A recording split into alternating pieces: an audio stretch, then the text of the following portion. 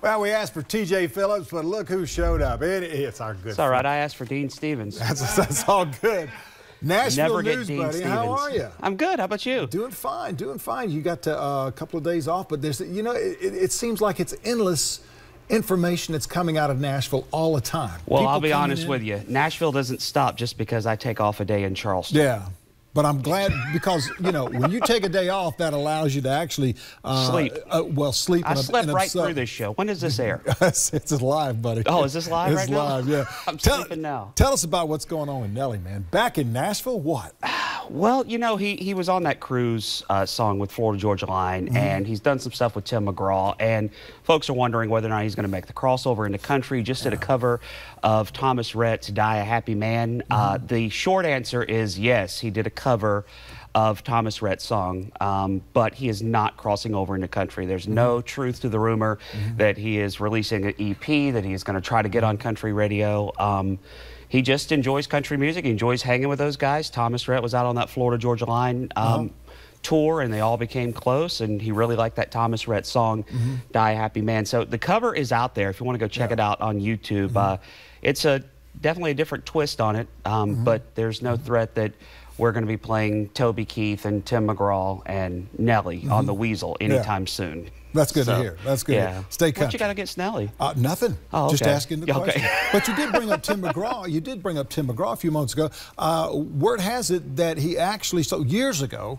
he sold his high school ring to buy a guitar, and that guitar turns out that he wrote 50 songs along with that guitar. Well, he this was his freshman year in college. He knew that there was some sort of pull on him to maybe find what he wanted to do with his life. So he pawned that high school ring freshman year in college that summer, learned how to play 50 songs, and then kind of hit the bars and played for tips and played for you know uh, the occasional wedding. And 10 years after that, he got his first record deal, early 90s, and from there, you know, the rest is history. So it all started.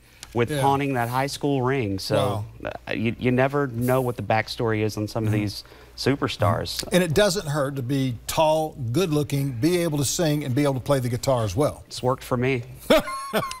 Tell us about Deacon from Nashville.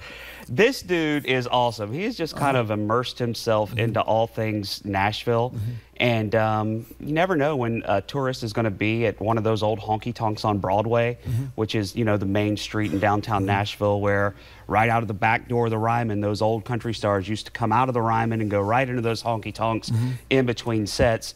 Deacon, kind of following along with that, be in there and then just hop up on stage and play. A lot of great video out there of him doing that. Uh, he did it recently.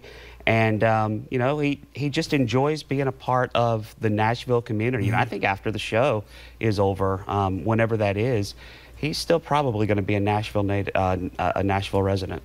Let's change gears just a little bit. Uh, Kacey Musgraves, um, she, she's come out with a number of songs with a number of kind of quotes in there, and people are kind of stealing those and, and utilize them with the way they want to, and that's that's against copyright laws, isn't it? Well, you know, one one that I can think of is she has a song called Biscuits, and it Mm-hmm. and it says, "Mind your own biscuits, and life will be gravy." Mm-hmm. So that's just something catchy that somebody would put on a sign that you could, you know, hang Sure. in your house somewhere. And one of the big Western stores, um, big brand Western stores that are in Yeah. Multiple markets, kind of stole that, and she's sick of it. So she went to Instagram and she put out, "Look." Theft is not a compliment.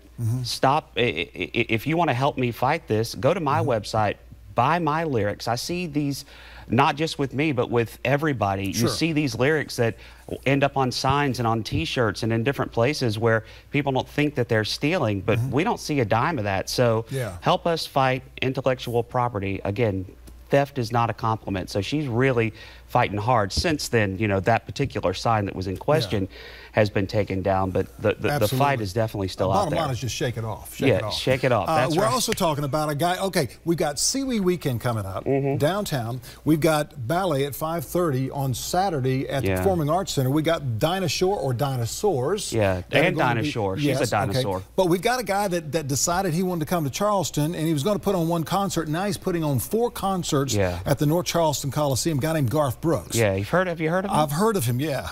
Yeah, this Huge. weekend's going to be busy. Like you were saying earlier, Yeah. if you can't find something to do this weekend, you're just not trying very Blinded hard. by the light, my friend. Absolutely. Good Uh, to have you with us, bud. We're out all right, man. Yes, I'm sir. out. See yeah, you Bye. We're back in just a moment with Lowcountry Live. Stay with us right after the.